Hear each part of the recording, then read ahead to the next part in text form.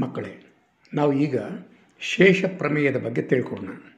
ನಾವು ಈಗಾಗಲೇ ಯಾವುದೇ ಒಂದು ಬಹುಪದೋಕ್ತಿಯನ್ನು ನಾವು ರೇಖಾತ್ಮಕ ಪದೋಕ್ತಿಯಿಂದ ಭಾಗಿಸಿದಾಗ ನಮಗೆ ಏನೋ ಒಂದು ಶೇಷ ಬರುತ್ತೆ. ಅದು ಶೂನ್ಯವಾಗಿರ್ಬೋದು ಅಥವಾ ಬೇರೆ ಯಾವುದೇ ಬೆಲೆ ಇರ್ಬೋದು. ಅದು ನಮ್ಗೆ ಗೊತ್ತೇ ಇದೆ.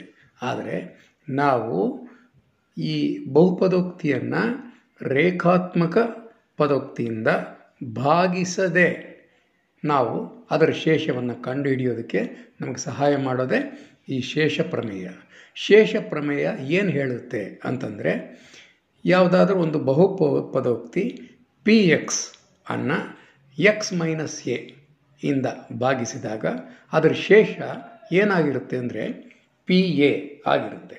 ನೋಡಿ, ಶೇಷ ಪ್ರಮೇಯ ಏನು ಹೇಳುತ್ತೆ ಅಂತಂದರೆ ಬಹುಪದೋಕ್ತಿ ಪಿ ಎಕ್ಸ್ ಅನ್ನು ಎಕ್ಸ್ ಮೈನಸ್ ಎ ದಿಂದ ಭಾಗಿಸಿದಾಗ ನಮಗೆ ಪಿ ಎ ಶೇಷವಾಗಿರುತ್ತದೆ. ಇನ್ನೊಂದು ಸತಿ ನೋಡಿ. ಬಹುಪದೋಕ್ತಿ ಪಿ ಎಕ್ಸ್ ಅನ್ನು ಎಕ್ಸ್ ಮೈನಸ್ ಎ ದಿಂದ ಭಾಗಿಸಿದಾಗ ನಮಗೆ ಪಿ ಎ ಶೇಷವಾಗಿರುತ್ತೆ ಅಂತ. ನೋಡಿ, ಉದಾಹರಣೆಗೆ ನಾನು ಇದು ಒಂದು ತಗೊಂಡಿದ್ದೀನಿ. ಇದು X square minus three X plus three ಅಂತ ಇದೆ.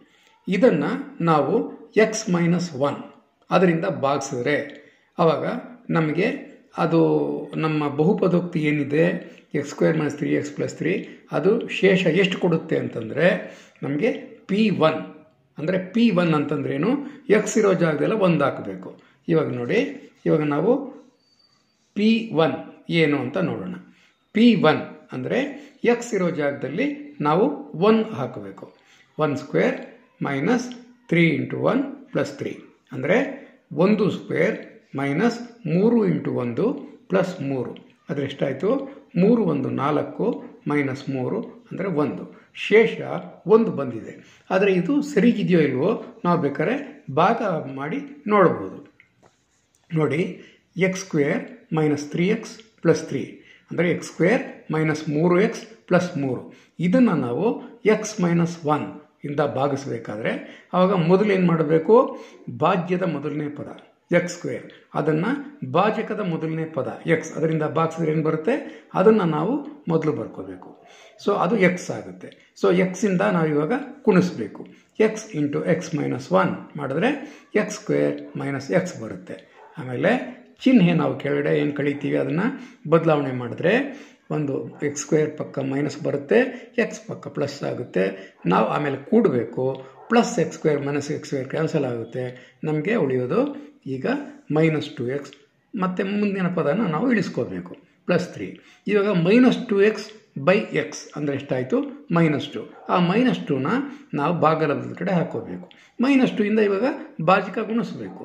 ಮೈನಸ್ ಟು ಇಂಟು ಎಕ್ಸ್ ಅಂದರೆ minus two X minus into minus plus two into one two. ಅಂದರೆ X into minus two minus two X minus one into minus two ಅಂದರೆ ಮ plus two ಇವಾಗ ನಮಗೆ ಬಂದಿರೋದು minus two X plus two ಅದರದ್ದು ಚಿಹ್ನೆ ಬದಲಾವಣೆ ಮಾಡಿದ್ರೆ ಪ್ಲಸ್ ಆಮೇಲೆ ಮೈನಸ್ ಆವಾಗ minus two X plus two X cancel ಆಗುತ್ತೆ. ಪ್ಲಸ್ ತ್ರೀ ಮೈನಸ್ ಟು ಅಂತಂದರೆ ಒಂದು ಶೇಷ ಉಳಿಯುತ್ತೆ.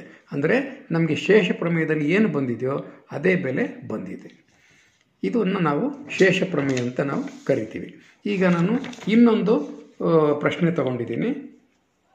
ಇದು ಯಾವ ಥರ ಇದೆ ಅಂದರೆ X to the power four plus ಮೂರು ಎಕ್ಸ್ ಸ್ಕ್ವೇರ್ ಮೈನಸ್ ಐದು ಎಕ್ಸ್ ಪ್ಲಸ್ ನಾಲ್ಕು.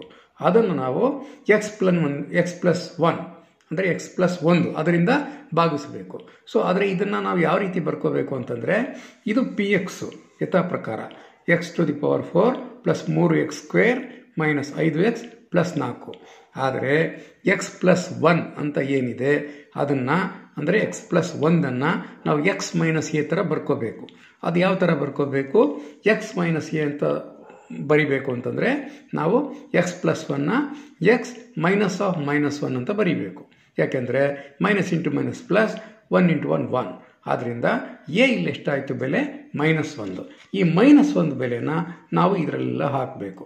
ಅಂದರೆ ಪಿ ಮೈನಸ್ ಒನ್ ಅಂದರೆ minus one to the power four plus three into minus one square minus five into minus one plus four ಅಂದರೆ minus one one ಅದರ ಮೇಲೆ power ನಾಲ್ಕು plus ಮೂರು minus into minus one ಅದರದ್ದು power ಎರಡು minus ಐದು, ಅದರದ್ದು ಇಂಟು ಮೈನಸ್ ಒನ್ ಪ್ಲಸ್ ನಾಲ್ಕು. ಅವಾಗ ಎಷ್ಟಾಯಿತು? Plus one plus three plus five plus four ಅಂದರೆ ನಾಲ್ಕು, ಐದು, ಒಂಬತ್ತು ಮೂರು ಹನ್ನೆರಡು ಒಂದು ಹದಿಮೂರು. ಸೊ ಹದಿಮೂರು ನಮಗೆ ಈಗ ಶೇಷ ಉಳಿತು. ಇದನ್ನು ಇನ್ನೊಂದು ಸತಿ ಹೇಳ್ಬಿಡ್ತೀನಿ ಮಕ್ಕಳೇ, ನೋಡ್ಕೊಳ್ಳಿ. ನೋಡಿ, ಶೇಷ ಪ್ರಮೇಯ ನಮಗೇನಕ್ಕೆ ಉಪಯೋಗ? ಅಂತಂದರೆ, ನಾವು ಯಾವುದೇ ಒಂದು ಬಹುಪದೋಕ್ತಿಯನ್ನು ಭಾಗಿಸದೆ, ಅಂದರೆ ಬೇರೆ ಯಾವುದೇ ಪದ, ಪದೋಕ್ತಿಯಿಂದ ಭಾಗಿಸದೆ ನಾವು ಅದರ ಶೇಷ ಏನು ಅಂತ ಕಂಡುಹಿಡಿಬೋದು. ಇವಾಗ ನೋಡಿ, ನಾನು ತೊಗೊಂಡಿರುವಂಥದ್ದು X square minus three X plus three ಅಂದರೆ ಎಕ್ಸ್ ಸ್ಕ್ವೇರ್ ಮೈನಸ್ ಮೂರು ಎಕ್ಸ್ ಪ್ಲಸ್ ಮೂರು. ಅದು ನಾನು ತಗೊಂಡಿರುವಂಥ ಒಂದು ಬಹುಪದೋಕ್ತಿ. ಆಮೇಲೆ ರೇಖಾತ್ಮಕ ಪದೋಕ್ತಿ ಯಾವುದು? ಅದು ಎಕ್ಸ್ ಮೈನಸ್ ಒನ್. ಅಂದರೆ ಇಲ್ಲಿ ಎ ಬೆಲೆ ಏನು? ಒಂದು. ಆ ಒಂದನ್ನು ನಾವು ಎಕ್ಸ್ ಎಲ್ಲಿದೆ? ಚರಾಕ್ಷರ ಅಲ್ಲೆಲ್ಲ ನಾವು ಅದನ್ನು ಅನ್ವಯ ಮಾಡ್ತಾ ಹೋಗಬೇಕು. ಆವಾಗ ನಮಗೆ ಒಂದು ಬರುತ್ತೆ. ಒಂದೇ ಶೇಷ.